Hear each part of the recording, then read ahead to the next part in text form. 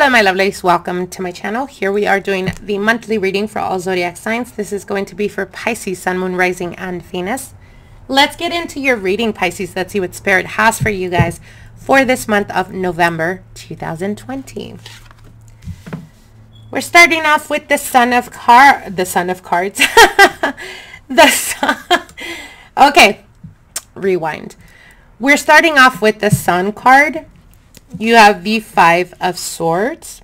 You have the Magician card, the Two of Cups, the Three of Wands, the Nine of Swords, the Four of Swords, oops, the Ten of uh, Wands, the Hanged Man, and the Ten of Cups. Okay. All right, Pisces right at the center, there's a lot of anxiety. There's a lot of stress. For some of you guys, I feel that you're very disconnected. And this could be energies that you're going to, if you're not experiencing that already, you will be feeling this way uh, throughout November. Uh, for some of you guys, it could be that you have a lot of things going on. You have to worry about your relationship. You have to worry about business or where you work. You have to worry about children, etc. I feel like you guys feel like you're being pulled towards different directions. Um, there is a shift that I see that is going to be happening for you guys. So for some of you, you could have had an idea or you could have been in a situation where you felt like you wanted a certain type of outcome and based on that, the outcome is very different. But you come to the understanding that that's what was best for you. So I see I see a turnaround of events for you guys. Now, if you are in a, a, serious committed relationship, it could have been that all your hopes and aspirations were put towards that individual. And with the Five of Swords and the Nine of Swords, you're quickly coming to the understanding that the person you are dealing with is not only stubborn, but pride is something that is very important to them.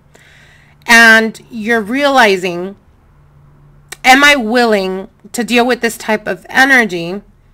Um, because by me, you know, staying there, sitting, being quiet and silenced, I'm kind of embracing that egocentric type of energy. Now, I do see clandestine type of relationship. So we're not speaking directly about those of you guys that are in a serious committed relationship. This is directly for those of you guys that are dealing with people that are taken. This is for those of you guys that are dealing with you being in a relationship and dealing with other people. Um, clandestine to me represents things that are not completely transparent that is that of the night. So again, that's the reason why they're telling me it's not to do with those of you guys that are in a serious relationship. Now, if you're in a serious relationship and you've been feeling like your partner's been hiding something and every time you try to confront them, they kind of try to flip the switch, then maybe you are in a clandestine situation. You're just not aware of it. And it has nothing to do with you. It's about what your husband or what your wife's doing behind doors uh, or when you're not around. So again, what they're saying here is that a situation is going to come to a culmination. It's going to come to a conclusion of understanding that whatever is being done in the hidden, right?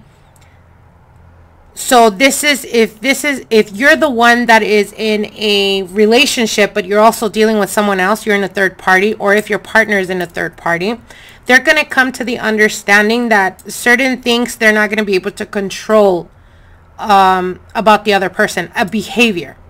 So this could be what pops everything off. So what I mean by that is if you don't agree to what they're wanting or what they're expecting from you, they're going to come back around and tell you, well, I'm going to let your husband know or I'm going to let your wife know. That type of energy. So I do see things quickly having a turnaround, but it's going to be to the best of your interest, Pisces, because you want to pull the fuck away from that type of energy.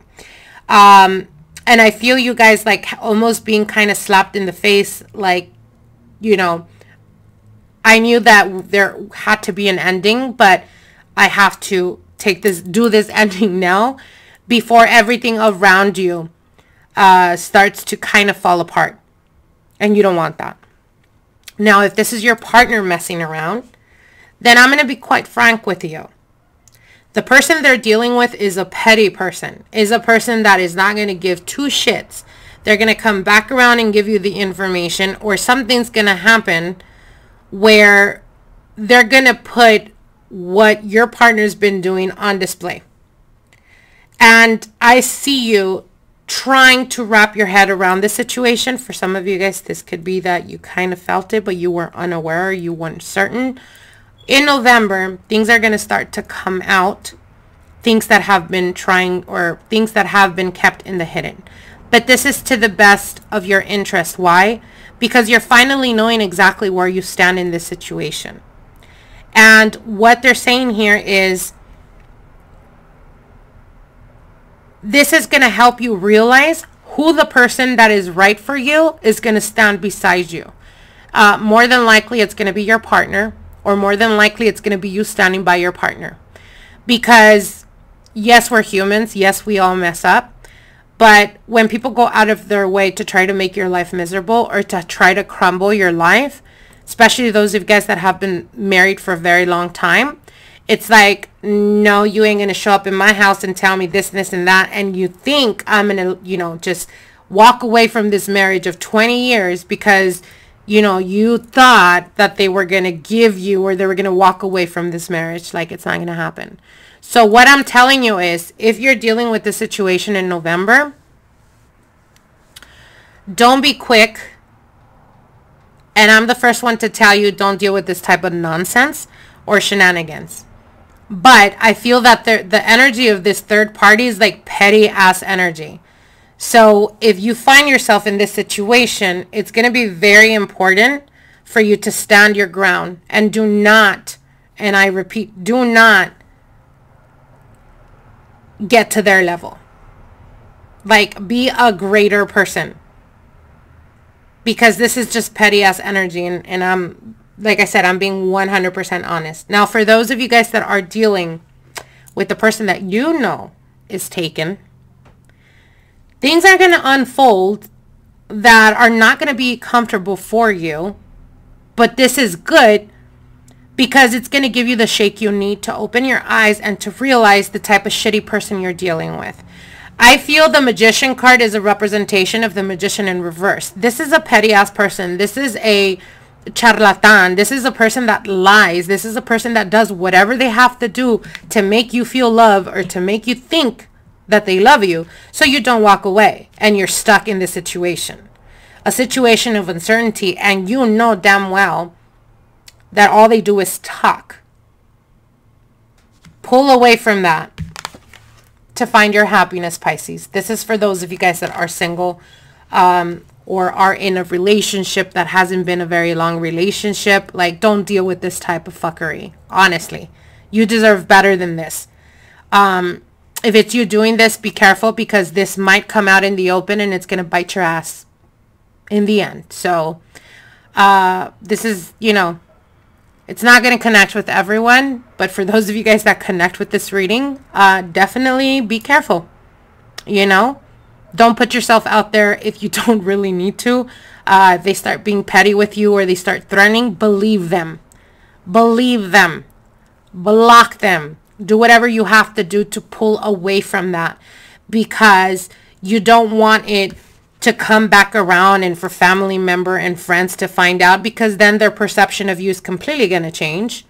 And though they may smile to you and pretend they're good with you, behind your back, they're going to be saying all kind of shit. So you don't need the shenanigans. All right. I hope it gives you some type of clarity. Do not put yourself like that or in that situation. Uh, we have Pluto return, uh, Pluto return, all to do with major transformation.